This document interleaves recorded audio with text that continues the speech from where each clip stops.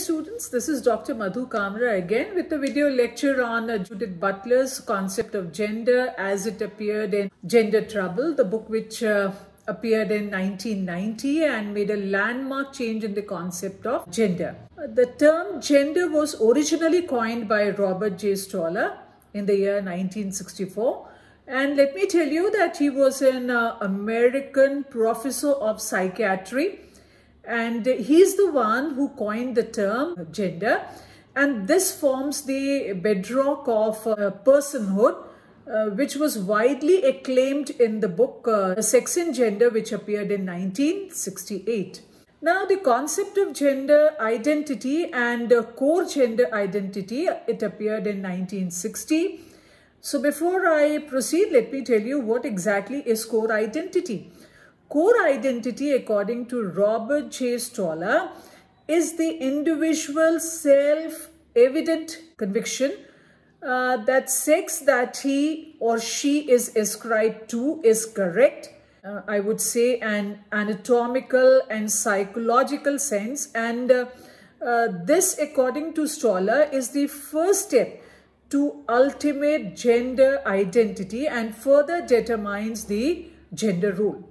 So it was Judith Butler who added currency and construction by publications like Gender Trouble, Feminism and the Subversion of Identity and uh, made gender stand apart from biological uh, sex. This way you find that an individual self-conception of a gender was further determined. So before we proceed, let me tell you that there are two approaches to gender study. First is the sexuality approach and the second is the feminist approach. Uh, in the first, you find that uh, Freud, uh, Karen Horney, they are uh, some of the uh, eminent uh, thinkers who contributed to the making of this concept and uh, Freud was the first one to say that men and women they undervalue women and uh, femininity and he also believes that masculinity is considered uh, more normal and uh, later it was Karen Horney who believed that uh, social factors and civilization uh, intervened in the development of uh, gender identity and uh, rated women as victims of biology and society. So this way, feminist approach is uh, woman might be woman only through the approval of heterosexuality or ambiguous sex. Second is feminist approach where you find that uh, the cry is that gender must be eliminated and it was only in the year 1970 that the word gender moved into the feminist studies and the concept of gender thereby uh, became part and parcel of the second uh, wave of feminism and here I would like to add Kate Millett who in the year 1970 underlined unequal organization of gender as the product of uh, patriarchy. And uh, Julia Kristeva as well as Luce Irigaray argued that male and female bodies are regarded as separate and opposite entities and this dualism is discursively constructed with times whereby gender is now integrally clubbed to class as well as race. Talking about uh, gender expression, uh, let me quote Butler who criticizes uh, Catharine uh, MacKinnon who proposed that the hierarchical structure between man and woman uh, creates the concept of gender and Butler opines uh, that gender is not the hierarchy between man and women rather the determinant heterosexuality in society. Now, gender you find includes all aspects associated with the concept like the subject agency, gender norm, and even the biological sex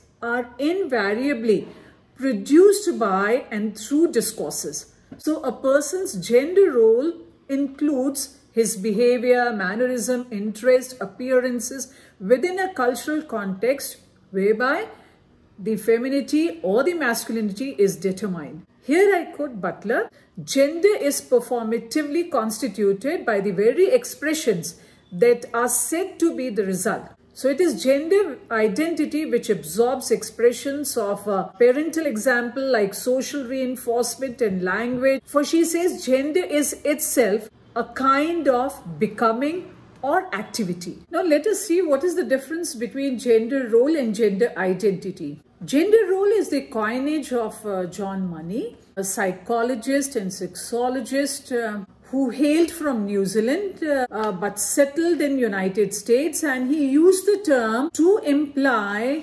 individual subjective identity. So as far as the frequency of this term is concerned in scientific literature, we owe much to John Money. Now, gender role is what you say or do from what other people make up their own version of your gender identity.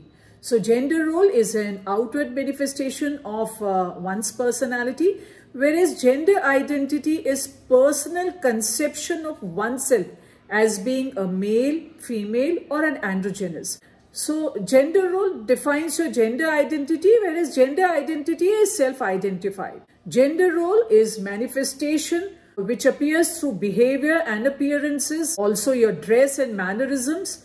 And uh, gender identity is something which is inherent and environmental factors that contribute to its manifestation through one's career and personal perception. So gender identity is conceptualized as more comprehensive than gender role. According to John Money, it includes ideation, imagery and unvoiced thoughts. It is equally important to uh, see what is the difference between sex and gender. Uh, sex, as we have seen earlier, is a biological uh, distinction, whereas gender is socio-cultural distinction. Whereas sex is based on anatomical, physiological or chromosomal properties, but you find gender is based on traits and behavior. So sex is the differences between man and women, which is uh, fixed and uh, Butler says that gender is the apparatus by which uh, the production and normalization of masculine and feminine take place. Gender is a constructed view uh, which is more mobile and therefore Butler says that gender is perpetually uh, practiced and repeated. So gender goes out of societal norms and um, sexual orientation is the method to disrupt binary whereas gender you find uh, needs cultural and psychological orientation, if ever, to disrupt the binary and negative consequences are there for not doing the gender right. So sex is inescapable, whereas you find that gender is malleable.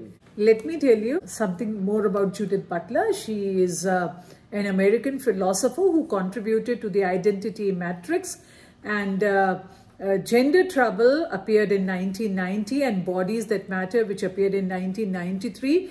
They embody most of uh, innovative concepts and uh, Gender Trouble is Butler's call on human society to disrupt the binary view of gender, sex and sexuality and uh, she calls for discrete genders as this would humanize individual within contemporary culture and uh, she also is much against those who fail to do right gender suffer from punishment and this she believes is dehumanizing. Uh, Butler criticizes a shared gender identity for it forms the requisite for political action. Judith Butler advocates that gender binaries may be disrupted by mechanisms like uh, the first is undoing the presumed link between sex and gender. For example, we have the uh, transgender individuals and also by undoing the link between sex and sexuality as we have the categorization like lesbian and uh, the gay or by challenging the binary system like we have the categories like unisexual, bisexual and such others. Now, Butler also says that gender relations are power relations no? because gender serves as a tool for power structure and it is exercised uh, within discourses. It decides how to define and organize both our world as well as ourselves in terms of subjectivity and our societal worlds. Power structures may be prohibitive or prescriptive, repressing deviating gender performance or it can be generative or uh, which is also called prescriptive uh, creating binary heteronormative gender performances. So because rules and categories lead discourse's power within discursive fields like the family or the law contains varying degrees of power offering uh, structuring modes of subjectivity and it is the discourse which is the agency of knowledge and meaning. And as foucault says discourses are produced by effects of power within a societal order and this power prescribes rules and categories which further define the criteria for legitimating knowledge and truth within the uh, discursive modes. So inspired by Foucault, Butler uses the notion of performativity to emphasize the belief that the gender body is enacted. So gender performativity is first used by Butler in Gender Trouble, which I earlier told you appeared in 1990. And it is the iteration, that is the repetition of the process of the act, implying meaning to be gendered, either male or female. So Butler adds the gendered body is performative for it has no ontological status apart from the various acts which constitutes its reality. She also says that there is no objective or natural sex, but it is performativity which constructs your gender. She believes that gender is neither essential nor biologically determined, but rather it is created by its own performance, hence it is performative. Because each of us is expected to do our gender right, we face negative consequences in case we fail to do so. Butler says that when we are born, as human bodies, we are indeterminate gender. Through performativity, gender is so entrenched in the psyche of the individual that its manifestation is regarded natural both to the individual concerned as well as in the appearance to the society. Now talking about punishment, she says that this includes oppression of women and the marginalization of those who violate the gender binary and also are stigmatized as being abnormal.